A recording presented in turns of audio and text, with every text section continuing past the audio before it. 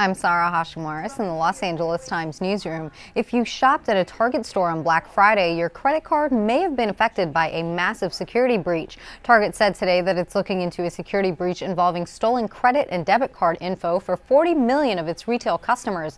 The breach occurred during the peak of the holiday shopping season between November 27th and December 15th.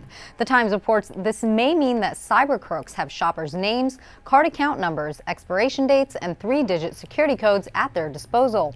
Online customers were not affected by the breach. Target said it alerted federal authorities and financial institutions after discovering the breach and said it's also teaming with a third-party forensics firm to investigate.